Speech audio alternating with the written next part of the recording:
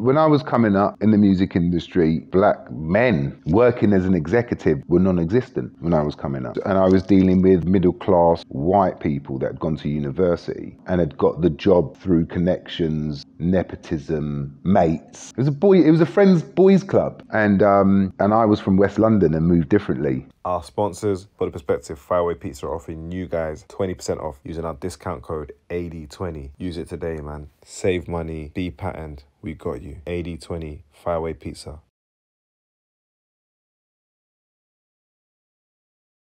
I want to say good afternoon to a pioneer, Mr. Darcus Beese. How you doing, sir?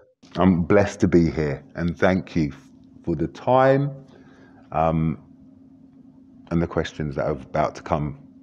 Do you know what? I've I've said this story to you in person. I mean, on the phone, and I was like, I first met you in passing. I used, you were like a hologram, like a myth. Like you know what I mean? It's like Keyser Söze, right? Yeah.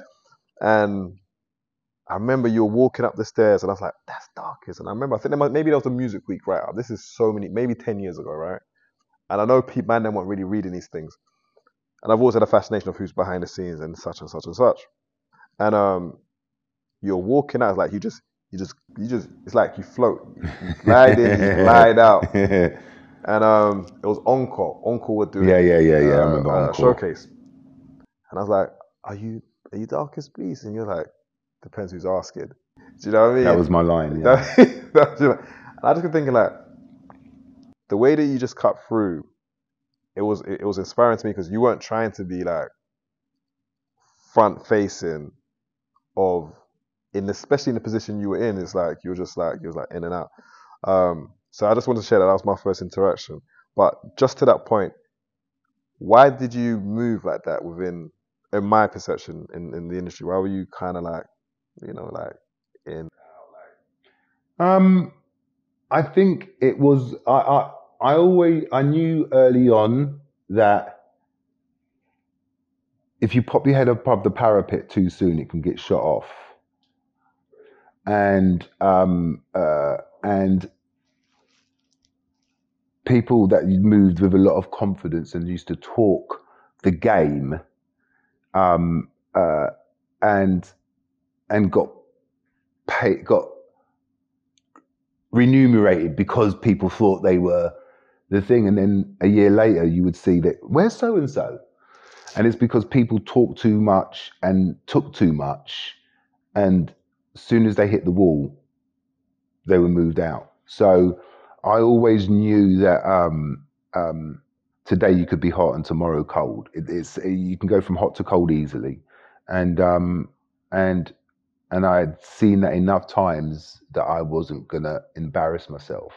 So, and your your your, your how you move should speak should speak for itself. And you, there's a bit of there's a bit of what my brand was like. What was my brand, right? And so I think that there's there was a bit of um, me trying to shape what Darcus was in the music industry. And I'm not talking as in the third person to be a dickhead, but I've soon found out that that Darcus and this Darcus now are two different people. Um, um, yeah, because it's uh, you know you have to you know people talk about authenticity and and, and being um, the authentic self. I had to find contrived authenticity. Um, uh, um, so What would that mean though? Because people probably wonder what that means. Um, I suppose it's kind of um, it's just good marketing, right? Um, as a when I was coming up in the music industry, uh, you know, black black men working as an executive were non-existent when I was coming up, S and I was dealing with middle class white people that had gone to university and had got the job through connections, nepotism, mates. It was a boy. It was a friends boys club, and um, uh, and and I was from West London and moved differently. Um, and if someone pissed me off, I would pick up a chair and dash it, which nearly happened. But then I caught myself, and it was the first time I kind of caught myself as a young black man working, working in a corporate thing, going, "You can't behave like this." All right. And um, so you you kind of you can it's that saying you can take you can take the boy out of the street, but you can't take the street out of the boy kind of way. And um, and you you learn you can learn quickly or learn the hard way. And um, and I learned the hard way um, because when someone dis- when when I felt that I was being um, talked down to and I wasn't being allowed to do something was actually sign an act, which I had no place wanting to sign an act because I was still early in my development. But the way I thought I was being talked to was like, "What are you talking to like that?" And acted, and and then I started to act like I where where I was from, and and I remember the managing director coming down, who I loved, who I love to this day, Marc Marot, and he probably heard all the drama from upstairs because his office was just above where we were. Um, and I was like, you know, he came down. He said, "What's wrong?" I said, "Well, if Julian doesn't let me sign this act, Julian was my boss at the time, another guy who was beautiful and taught me how to make records." But he said, I, "He said Julian won't let me sign this act, and if he doesn't let me sign it, I'm going to walk out." And Mark looked at me and he went, "Open the door," and he went, "Well, there's the door." And I stupidly walked through it I stupidly walked through it. Um, and I remember walking through reception, getting out to the street, and it was a warm September afternoon. Um, and I remember looking, turning around, and going, I've just walked myself out of Island Records because I was just being an ignorant dick. Um, and then from that day on, which would have been, that was 91, I got back in 94 to Island um, from that day on, I said, I'm never ever getting fired again. You see, what those situations happen, yeah. Um,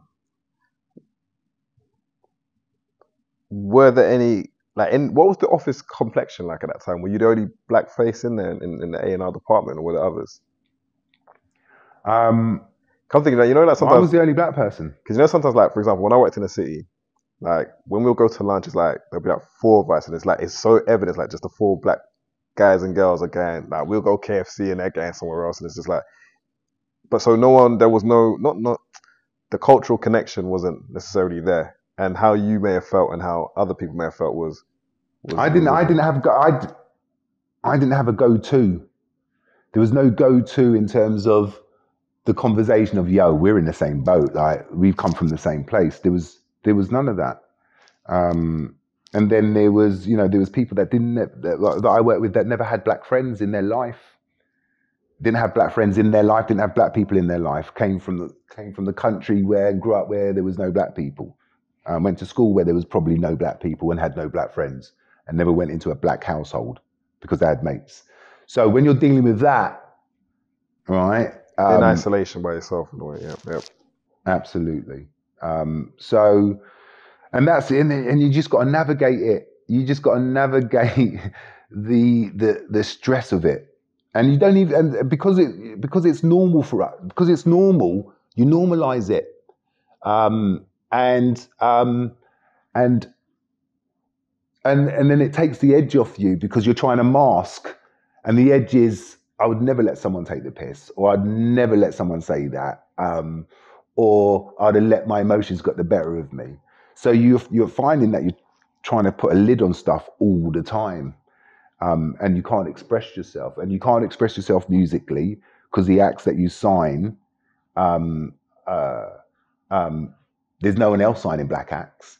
So you know you're signing stuff because they go, yeah, it's We're Island Records, it's the optics, you can, you're black. You, but you know no one's sitting there going, um, it's the next best thing or, and it probably wasn't, but but you know, I was I was you know I signed this kid called Silent Eclipse, this rapper called Silent Eclipse, the most hardcore rapper you would. I it was basically my he, he was what I wanted to be Ice Cube, and we made the records with some of the producers that made the Ice Cube records, and his his his song titles were Baptism War on a Satellite or Don't Judge a Book by its Cover or government piss off, parliament spin, ricketing, ticketing. So he was dope. and that's where I was. I was literally, um, by extension, some of my expert by extension, what I was trying to do, right, and trying to say.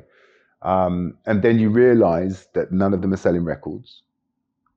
Um, and you're sitting in an A&R department with people that have got all of these rock bands that are selling out the Ali Pali, Brixton Academy, going on tour, um, uh, and doing big stuff. And I'm sitting there with these acts that just about sell out Jazz Cafe and the Subterranea. So I had to be, I had to understand the business, the responsibility of the business, and why I was an A&R person. And it wasn't just to satisfy culture or satisfy myself. In, in, in the book, uh, Rebel Cause, there's a line where you say, What does success look like from a record label perspective? So, picking up from that point, you know, you've been a president of labels. What does success look like from a record label perspective? One as an A and R, and then two from the top down as a as a president. There's every label has an A and R budget that allows investment in new artists, and it's there to spend. So that A and R money's there to spend it's there to um, um, uh, fund the exciting process of new acts and breaking them. And when you break them, um, you create a pipeline of money that's coming back. Um, and uh, while you're spending money out, the act is unrecouped, right? And you're and with with growing success, you spend more, more money out. But then you create a pipeline of money coming in. All right, that um, that uh, creates a two-way street of money going out, money coming in. So the the unrecouped balance fluctuates: money coming in, earning money, money going back out, losing money. Um, um, uh, um, because it's marketing because you're spending continued spending on marketing.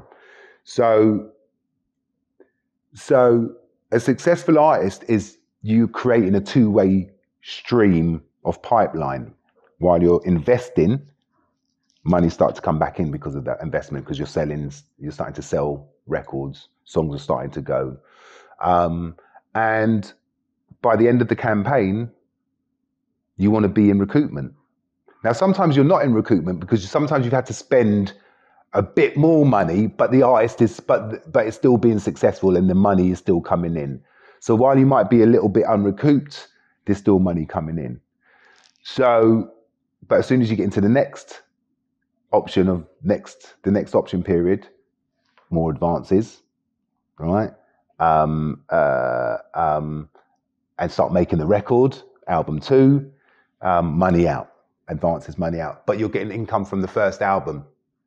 And the first album might have been successful across Europe and then successful into America, where now you've got this steady stream of money coming back in. That's actually album one while you're working on album two. So, and album two is the is usually the album that a lot of people find difficulty on, right? So you're spending more on album two because you've been successful on album one, and you outspend album two, outspend album one because it's album two and you're trying to chase the success of what you had. So you're spending more money, and all of a sudden you start spending more money than you've got coming back in.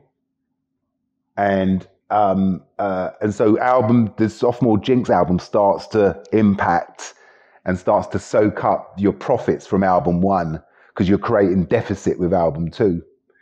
Um, so it's about getting to album three, creating um, a catalog, legacy. Um, uh, and if you're in album three, you're probably renegotiating your deal. Um, so yeah, it's about it's about trying to create an income stream that um, uh, that if you keep it open, you know, and you go to album two, and album two does well, and it, then everything starts paying for itself because now you're on album three, and you've probably got an international global footprint and you're probably selling this amount amount of tickets around the world. So you have now have a business that's not reliant on one hit that was on the first album that's skewing everybody's brain thinking, oh, we've cracked it. And we go to album two, we lose our shit. Sophomore jinx. Fuck. Expensive deals sometimes have the artist or the team lacking confidence. So if you can speak to that and expand on it. If if you, if you if you're betting on yourself and you you have some idea you might not have the full idea but you have the some some idea of how you're going to get yourself to market. Um, because record companies don't that's not a record company's job our record our, yes we we can go and create and put together flow you know uh, you know, should you know, yes, stuff can be put together, but in the main, artists that successful are the ones that are going to figure out whether you're in the room or not. So, in old money, there used to be artists that used to be, you know, get something going and create a buzz, and and in a in a in a world where people used to sell a lot of records, you could kind of get away with, you know, chasing a deal, paying over the odds, and um, and it washing its face or it, or it making money. Um, but if someone came to me and said, "We're going to do a deal, but we're not going to take any money," I'd be like, "Why? Why can't I give you some money?" No, we don't want to take any money. We just want a higher royalty. I, I you'd rather give them more money than give them a higher royalty, right? So you know they go, no, no, no, just just get a little bit of money, but give me. I want a better royalty on the back end right? And um, and uh, and the less money you take, it's more about the back end. The more money you take, it's front loaded, right?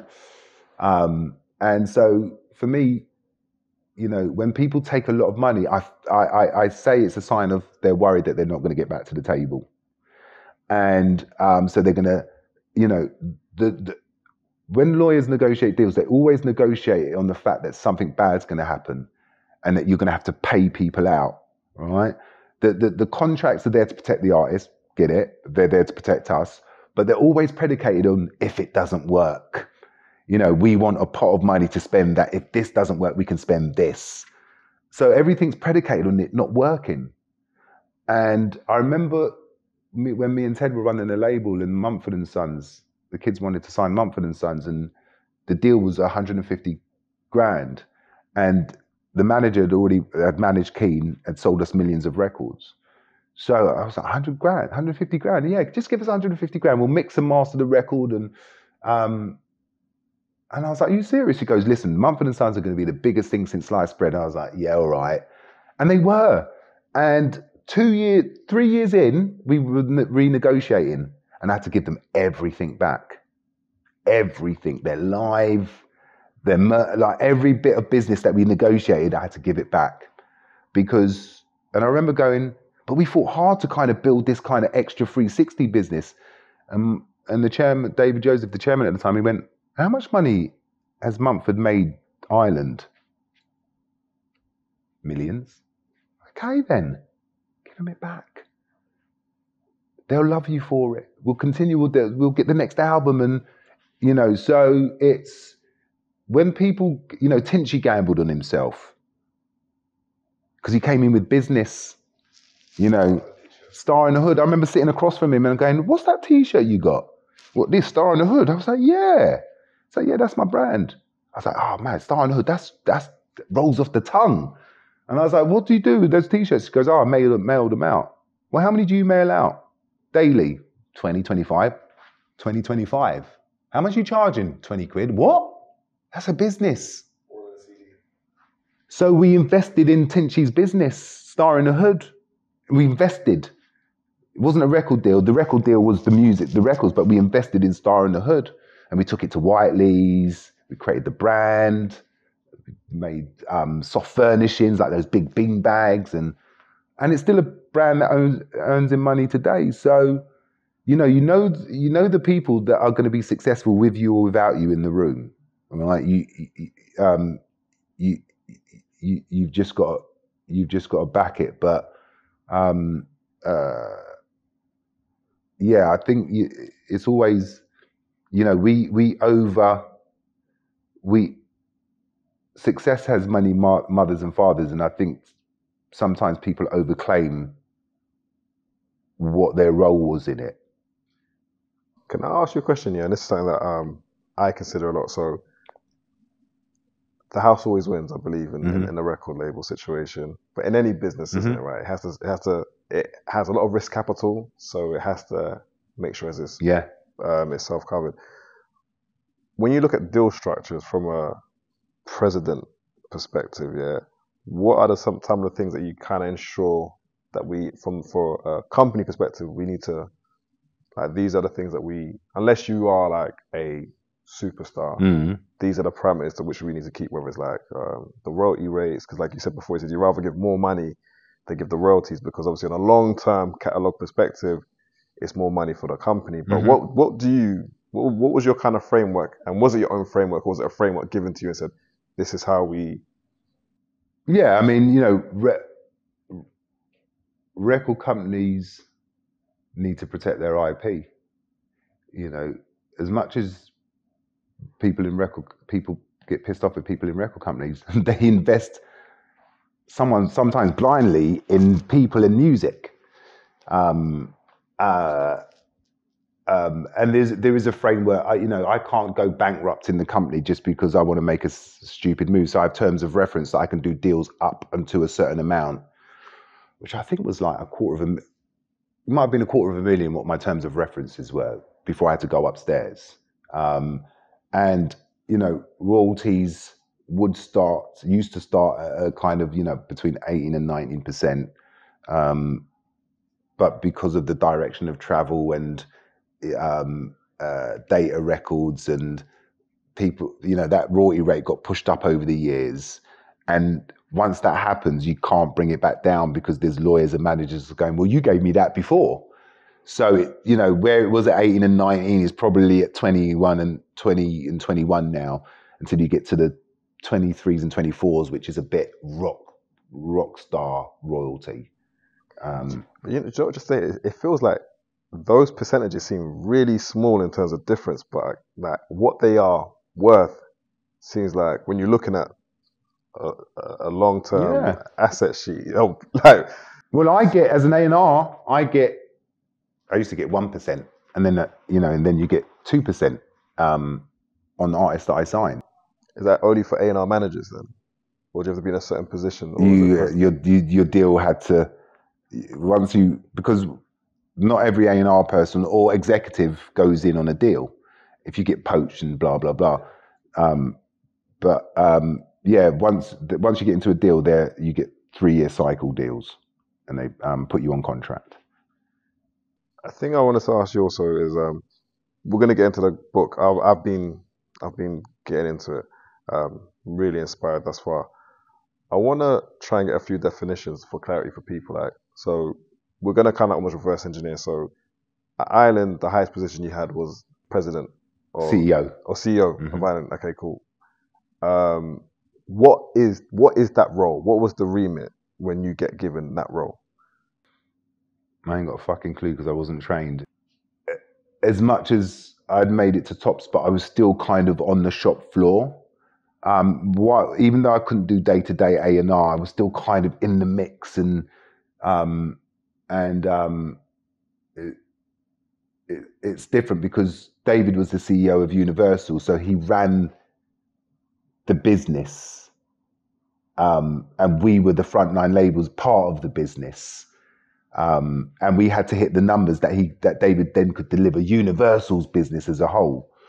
When I went to America as president and CEO, the CEO piece was you're managing the business, right? And um, it's an important um, uh, role, different to the president. And I remember Lucian saying to me, You know, this is not the same as you being a president in the UK. You know, you are managing the business out here. And, um, and I didn't until I got there. Um, and um, being creative and managing the business that's two sides, different sides of the brain, and I don't have that. I always has had a good number finance person or a good number two that would go, you're spending too much, or you're not spending this, or you don't have this to spend. Um, but you leave that kind of stuff to me, and I'll take the company down, like Barings Bank. But um, um, What is actually the difference though? Like when you say managing the business, yeah, like uh, from a CEO perspective in America, like like it's probably less creative. Is it more just numbers? it's it's, it's, it- it's less creative. reports, yeah, P and Ls, where we are, and just so Yeah. that's okay, cool. yeah. It's it's it's. But but because I was a creative, um, I didn't have to learn the creative side. I had to learn to have the patience to sit in a room with people talking to me about stuff I had didn't care about, um, and um, and look like I cared about. But if you've got the right people in situ, um, even though you have to care about it, you've got other people doing it for you. Um, so yeah, there was the, it was it, it I I had to learn what that was, and I didn't have the patience for it. So in the UK, it was different then, It was different. Uh, and and It was different because um, David was our CEO, chairman and CEO. So he was doing that role, and then you ended up having to do in his role Yeah, in, in America. I got you. Yeah. On a smaller scale Yeah, because sorry. he was running the corporate business, but each of the frontline labels were business units, right? Um, uh, yeah, I, I kind of, you know, it, I was talking about in business units rather than in, as a record label. So that's the different side of the brain, right? And um, and I just was had to make sure that the label hit the number. And um, uh, I remember in COVID, I had a five.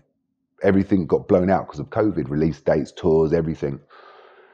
And I had I had a really busy release schedule that got blown out, and had a five million hole in my budget. And I was told by no uncertain terms, you are finishing the year um, with a five million hole in your budget. Um, so I had to go and find the money hook or by crook. Um, um, and you d- and you do that by different parts of the business. Catalog helped me a lot.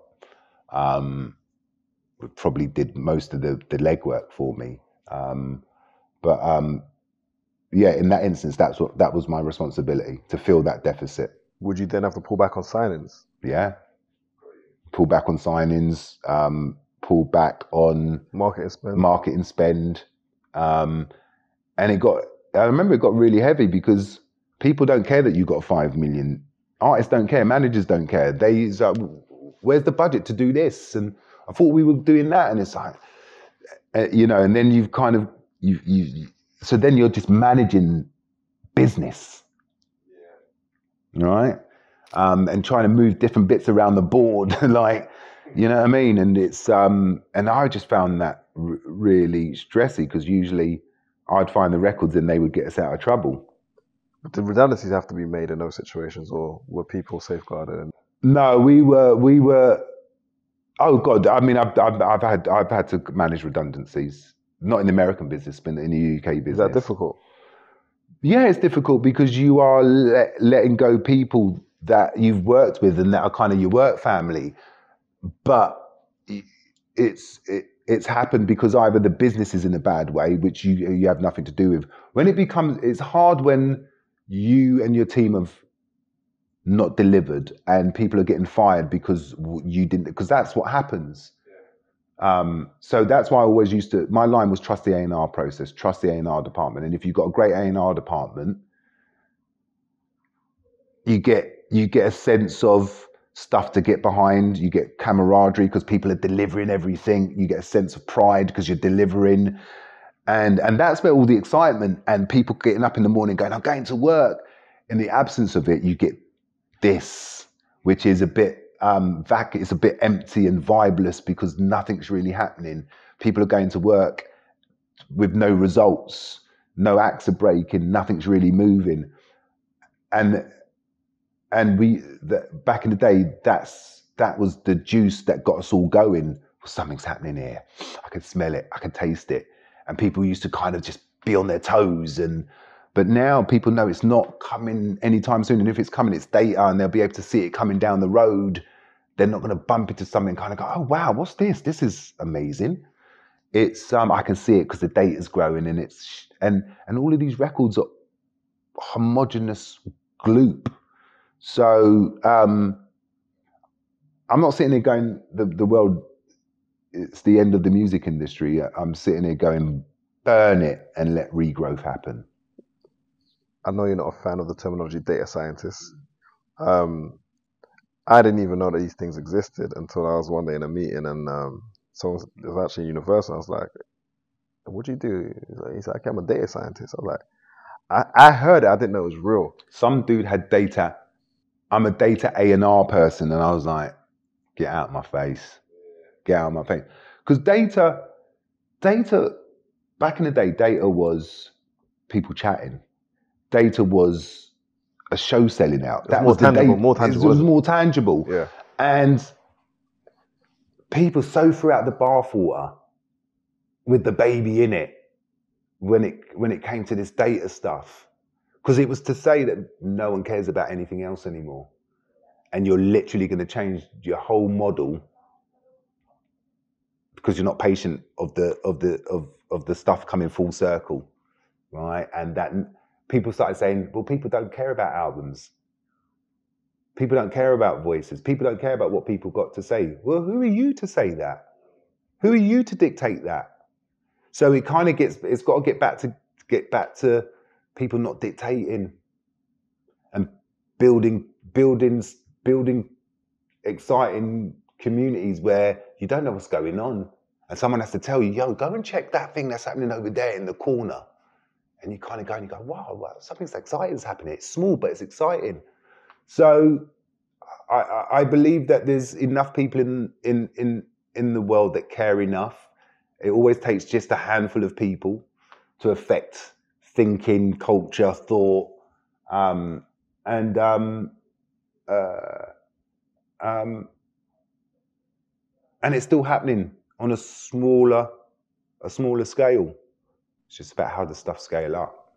I think a point of interest, I think, for many people that are watching this would be like, one, not in layman's terms, but somewhat within layman's terms, because like I say, we will like scale things back to its origins. But how do you even get one the job of the president of Island Records, and two, how do you even then get the job as the CEO and president of Def Jam in America? Like, what's the actual like fly on the wall process for that? Um, I've talked to people and I said, "What do you want to do with your life?" You know, when people are discussing their um, their next move or their trajectory or promotion or pay rise, and some people some people blatantly have said to me, "I want to run a label. I want to be president of a record label. I want to do what you do." And I'm glad that people think like that. But I, you know, when I was coming up, there was no one in situ for me to think like that. I had no ambition to. I would never ever thought that I could be entitled enough to think that I could run a label as a black boy in a white setup. So, so all I knew was from from from the stories that we talked about. Don't get fired. Stay in situ, which means that you have to kind of build yourself into a, um, um, what's that thing when people always want you around? You become Indisposable. indi- indis- indispensable. Indis- yeah indispensable, yes. right indispensable, yeah. and and um and that you have a work ethic that goes beyond everybody else right so um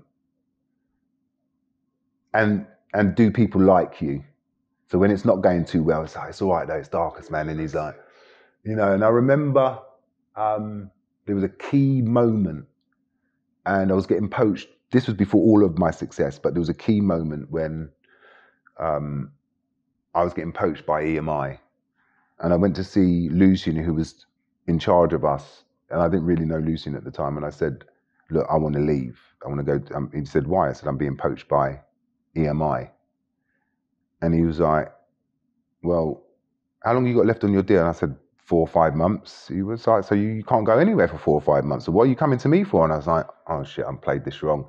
And he's like, "Do you know me?" And I was like, "Not really." He's like, "Well, what do you know about me?" So we went into this kind of real, kind of um, uh, ego thing, All right, and um, there was there was there was a bit of banter, some bit of bit of backwards and forwards, and he said, "Tell your lawyer not to call me. You're not going anywhere, um, and if you want to go on a journey and be successful, um, we might have a conversation when the deal's up." Anyway, my deal roll, my deal came up. Lucian wasn't talking to me. Um, and another six months went by, and he called me into his office. He said, Sorry, before that, what role did you have at that point? "I'm sorry, I was an A and R manager. A and R manager. I was an A&R yeah. manager. Sorry, I beg your pardon. I was an A and R manager." Um, and um, I remember he gave me a deal, and usually you give three-year deals, and he said, "I'm going to give you a two-year deal." And he said, "How much?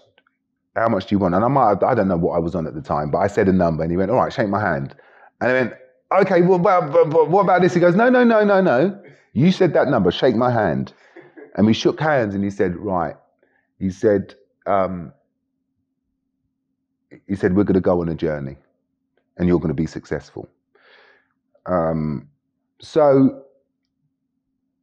I, I, I became successful. Not because I was. I became a successful A and R person, and with success and re- repetition, um, and not just with the same act, but with other artists, your success makes you an asset to the company. You know, I as soon as when I signed the Sugababes, from then until I left, I paid for my I paid my way, and then some.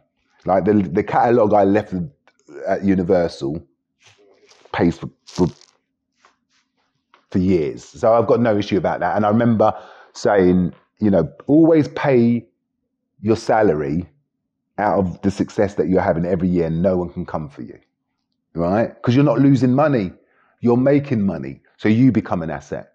Um, and so, you, you know, while I had no ambition to run anything, I, I had ambition not to get fired. And I had ambition to sign acts that were as big as these other A&R people. And then one day I woke up, Sugababes About You Now was number one, Back to Black album was number one. So where do you go from there? Right? And when my boss, the MD, left, the president left, um, who were they going to give it to? Now they could have brought someone over me and Ted, right? They they could have maybe, and I, they could have given it to me by myself. That would have been a bad move. But they said, let's let's put Darcus and Ted Cockle together. He was the yang and I was the yin. He was white, I was black. I was music, he was marketing. Um, um, I had culture. He did, but but we we were the fit was was so amazing that we went on this run, right? And so everything was born off the back of just being good and delivering, and um, and some and then people want to reward that with running the company, and um, and then when you're super successful at that, um, people are sitting there going, "Shit, we're just about to lose the guy that's running Island in America. Who are we going to get to do? it? Oh, the dark, dark. What an amazing story that would be. Darcus from the UK, taken to the US. Easy. And it goes back to what you said before about like, what is your brand? And now the narrative of who you are can now be transcended to, oh, because I think with a, with the thing with what I've looked at is the UK has a almost like a procession of like, if you look at all the, the even like in um, Sony, Mm-hmm. they're all British based, Mm-hmm. and they've all gone started from here, Mm-hmm. and they've gone over there, Mhm. and then like there is like a, a Mhm. pathway. So seeing you going over there was like, wait, we've never we've never seen a black export like this. So going to America, like, were you were you actually ready for it for that jump?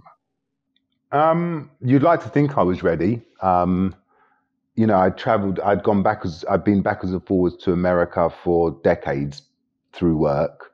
Um, you knew the characters that worked in America. Um, you you've you've got 25 years plus under your belt here, so yeah, I should I should have been ready. I should be ready, right? But you living in living in America and just popping over there for three days, but living and working and living in America and running a business was completely a different headspace. Um, and you can't find that out until you actually get there. Um, but yeah, there was there was major apprehension about going there. But that's that. What does ambition look like? Like, what if if I said no? You know, it was weird because some people goes, "Why are they sending you to America? Are they trying to get rid of you?" And I was like, "No, it's a, this is a good thing. This is a promotion." Um, you know, I remember getting I remember getting the um, I remember getting the record. I remember getting the deal over what they wanted to offer me, and you know when you realize, oh, that's how much they pay Americans. That's why these. This is why they're so mad because the ability to make the dough in America is real. The the American dream is real because it's scale. Like you can literally go from I'm poor to multi-millionaire. It's it's it's and and and and it happens right in front of your face while you're there, and so people have this real stab you in the front to get where they need to get to. There's no stabbing in the back. People stab you in the front and look you in the eye and tell you why they're doing it, but it's okay and lay you down while you're dying. You know, right? But um, and here it's more in the back and um, but um, but but yeah, America, the scale of the business, it's intoxicating. It's intoxicating. So and you're close to the sun. That's where they all are. I mean, you know, yeah, it was just I would go to the studio and be hanging out with Busta, and I remember um, I stayed too long in the studio and thought Busta was my mate. You know, Busta Rhymes, man. Got his number in my phone, and I remember the next day after the studio, just hearing they t- they play everything at flipping it dialed up to twelve, right? And I remember Lee, and I remember the next day Busta calling me and going, "Yo, King, so what's the deal?" I'm like, "What do you mean? What's the deal? What's the record deal?" I played you the music, you know, offer me a record deal. So I got myself into a sticky situation with Busta, right? And he was expecting a record deal to, an offer to come, and I was just, I was just hanging out in the studio. And I remember speaking to the head of legal in America, the legal department. He said, "There's one thing you need to learn about, learn about hip hop. If you're not going to do the deal, don't do the meeting. If you, if, if you don't want to do the deal, do not do the meeting because you will do the meeting and you'll end up doing the deal. So be very careful because these people don't play around, right?" And I was like, "Okay." So cultural difference here. There's gonna be plenty of meetings. Cultural differences. Okay. Um, but yeah, this every every everything is just dialed up and scaled up. Um, and um, I was living in New York, living and working in New York, in New York, which was just um, a different headspace that if you were living and working in LA. Two different, two different paces. America's uh, New York is just head down and just relentless, and LA is just like, I'll see you for breakfast at Santa Monica. We have some, we have some muesli and some fruit bowl. I'll see you for lunch. But um, yeah, it's um, you know, being good got me to America. I never, I've never asked for a pay rise. I've asked for one pay rise, my first. Never asked for a pay rise. Never asked for a deal. Never asked for a job. In terms of in terms of promotion, never asked. Never said I wanted to run it. Never said I wanted to be CEO. Uh, and maybe muted that. Wouldn't it be cool to go and work in America? imposter syndrome, medicating it with success. So even getting to all these scales, so I, I, look at your journey. and I was thinking, okay, cool. You started off, and when you came into the building, so to speak, there wasn't many like you. You then get to a position within that building where there wasn't another you, and then you go to America, and then no one from the UK who even like it, it's anomalies, mm. like one of one. Mm. Speak to where and how it manifests the imposter syndrome when you're climbing those ladders? I think that the imposter syndrome, you dial it back to when you're a childhood, right? And it's being told that you're going to amount to nothing, um, being told that you're just a disruptive influence, being told that you're, being told that you're, the color of your skin is not going to get you there where other people are. Um, that people don't. If you're on TV, you're a stereotype. So there's all these things coming at you, telling with with negative with negative impact. But you just you're just bowling about your day, but you don't realise the damage that it's doing, and you're normalising that stuff. So you can't. So you you you're going through life thinking you're being tolerated, even in school. You think you're being tolerated. Ah, ah, ah. So you you think you're being tolerated all the time, and then when you get the job, because of a person that doesn't look like you gave you the job, um, then you it, they're the gatekeeper to let you in, right? They're the reason why you're going to be successful. They're the they're they're, they're they've chosen you to walk through the door, right? So it's not within your power. So um, so even when I was having success, you're thinking, yeah, but was it because I was letting the room, or was it because he said something that I then picked up on it, and that is it because of that person? Maybe maybe it's not because of me. So and because there's quite a few people in the room, and blah blah blah, and so it doesn't. It, it, even even now, I have a, a scintilla of it, right? Um, but the writing of the book and the laying it all out, and you kind of go against the backdrop it's only in the last three years since I've started writing a book, and probably in the last year and a half, that I've gone, I just need to be American about this and go, yo, I did this. Right. And, um, and, uh, and that the book should have a sense of, of, um, uh, ownership on, dude, like, you know, when people, people used to, but when people talk, say, oh, dude, like, people, it's other people that use the word legendary it's other people that use these these these adjectives. I don't I don't use them, but they then end up building you up into this thing that you go. I didn't call myself this. I didn't call myself legendary. What do you mean you're legendary? I didn't call myself legendary. Someone said, Why do you want to write the book? I didn't want to write the book. So, how did you become CEO? I didn't want to be CEO. So, I just wanted to be successful. I just wanted to be good at what I did. Um, and and by extension of that, I got all the pressure that comes with it. The pressure, pressure bust pipes, burnout, um, breakdowns. In your journey, have you visited those dark places? And what does that look like? And what was the catalyst for those? Um,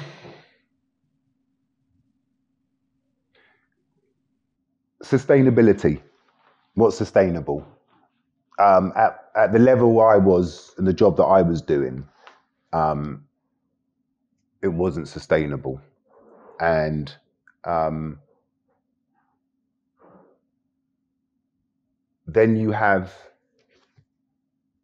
so you have you you you you you have just the pressure, the the daily burn of work, and um, there's only so much the human mind and the human body can talk after 30 years. I'm talking about myself specifically, of going at it day in, day out.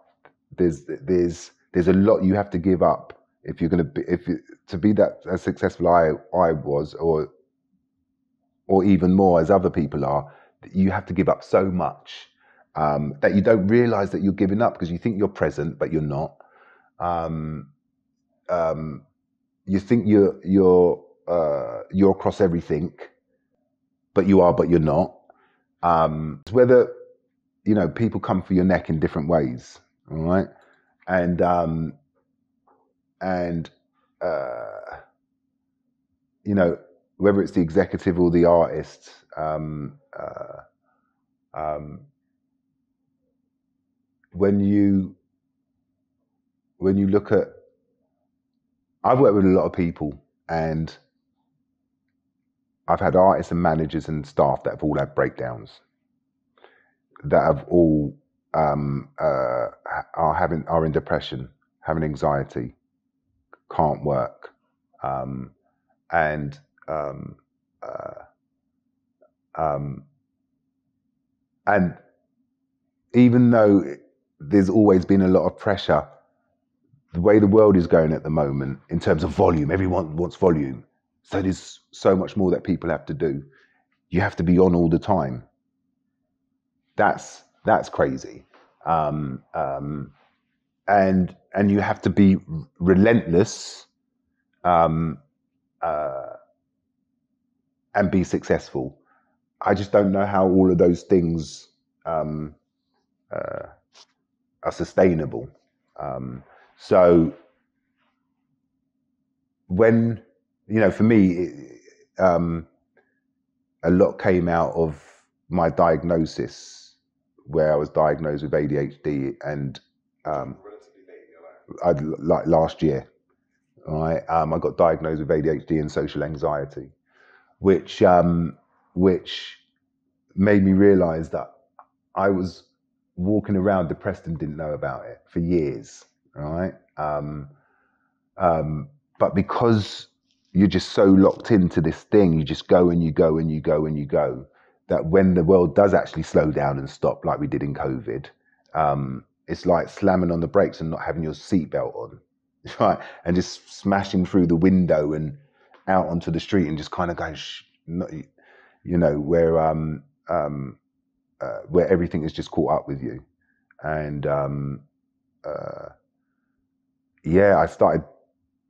smoking a lot more to slow stuff down, um, and then smoking too much, um, where it was just a fog.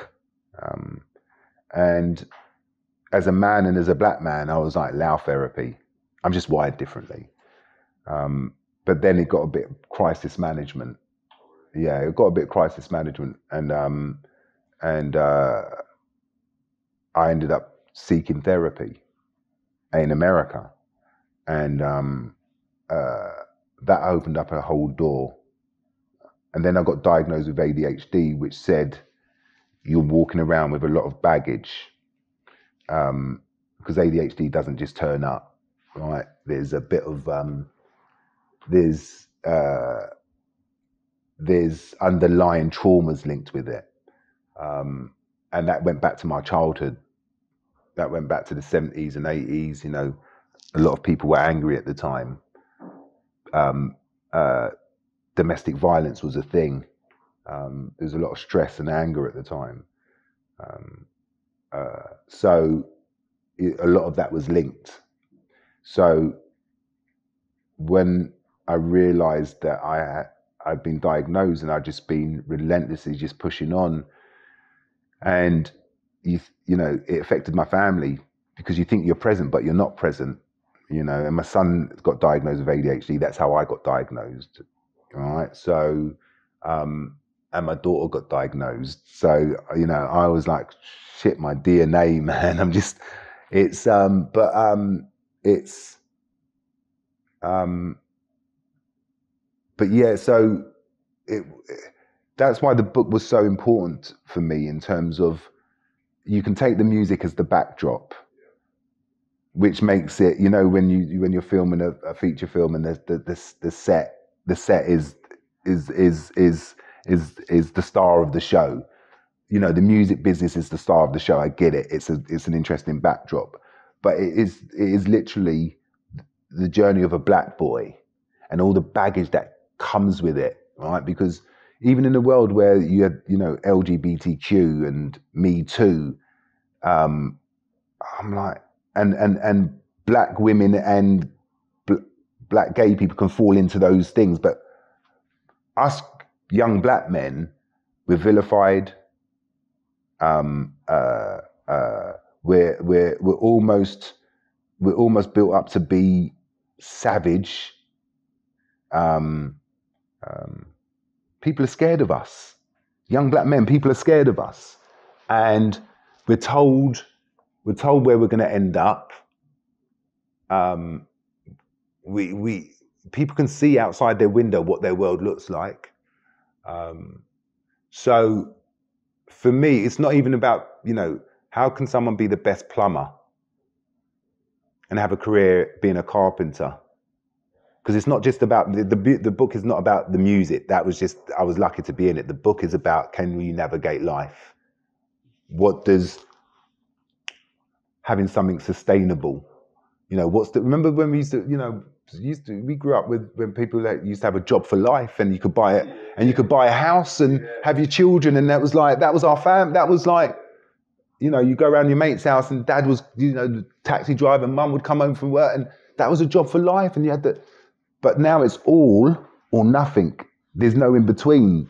So you know people are either in famine or they've got too much. There's no middle class i can just get on and you know so it's um so i just want i just i don't want young black men who's moving the needle for them other than locking them up or or or um or having some charities that help them as they come out of prison or um what's the what's the conversation where you can say to young black men you're in trauma you're undiagnosed you've got ADHD or you've got Asperger's or you're autistic.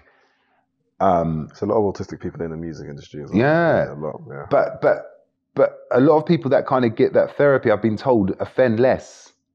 That get that get told that there's you're wired differently. You're not a bad person.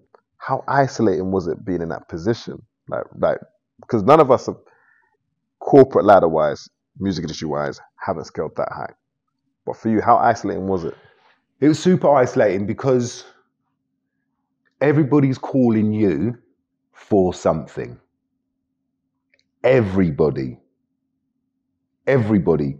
No one's calling you not for nothing. Everybody's calling you for something. Whether whether you're in campaign with something, whether someone wants a deal, whether someone wants promotion, or someone wants a job, I can give the music industry. I can change someone's life. I can sign them. I can drop them. I can give someone a job. I can take the job away. That's that was you know that's um, and and I you go play you couldn't go places because you dropped someone and you, you, you, so and you didn't you know so if you've been around long enough you create enough enough scenarios where just, oh, I can't go over there man. Just, I just drop that person and or I'd let that person go so or I don't want people asking me for something. And you know because some someone wants always wants something from me when I was running the label. Again to repeat whether it's a record deal whether it was a job whether it, whether it was CDs for a charity whether it's tickets is I used every day. It was you just felt people just taking taking taking ta- and you, and you had to be this giving person. Um, and and it was different and you had to be different in different rooms. And you had about 20 tabs open. And there's different genres different parts of the business. Um, black people white people brown people gay people straight people. And you've got to have everybody feel that they're getting something from you um, uh, and um, uh, you, you you don't create a two-way street because it, it you, you you don't want to create a two-way street relationship because you get too into it with people um, And there may be a time we may have to cut off that. and and and then it's hard because you've created this thing. So I was very, I was always very mindful of, um, um, but could I could give people the real as well.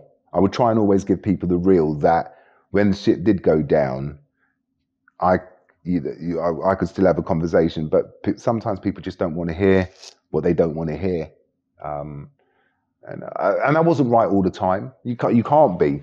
So um, there's some people that you know I would have rubbed up the wrong way, and I was at um, I was at my book launch yesterday, and an artist came along, and um, and apparently that artist thought I was a dickhead for a long period of time, and it wasn't until recently, you know, where you know when there's enough time passed, and you kind of go to to the point, shit, your your job must have been hard, you know, what I More mean? empathy now. Absolutely. You know, because I literally, if I'd, I, I would get called to sell out by my own people. And that's mad from the background that you've come from. Mm. Your dad being a Black Mm. Panther, like you're like Mm. you're true to Mm. your roots and culture. People would call me a sellout. Um, I'm a pretend black man. Um, I would, I, I, I would, I would literally get that at the same time when I was trying to navigate shit with my white counterparts. So when you talk about isolation, You know what I mean? It was if I went to culture, black culture, it'd be like, but are you from the culture though? And I'd be like, no, I came through a different way. I came through back in the day when there was no culture, you motherfucker. right? Sorry for the for the thing, but I came through a different way. So um, uh, a lot of people see me as part of the white establishment because I came up before there was culture. Okay, it's like you just and you were just were there when And it I was appeared, there. when it appeared, so you Uh, had to be a part of it. right? So you know that was um, people thought I was grew up. People thought I was middle class and rich. I was like back in you know, and I was like, you don't. Even white people were like, you ain't from the hood. You don't know no black people. I was like, I will get your ass spanked from all across West London. So, but because, like I said, I I I I masked. I spoke a different way. Um, I could I could go and hang out with the Maida types. You know what I mean? And um, and um, the, the the the the groovy Ladbroke Grove people as well as the Mandem. Um, so um, yeah, it was it was it was it was pro- it was seriously isolating.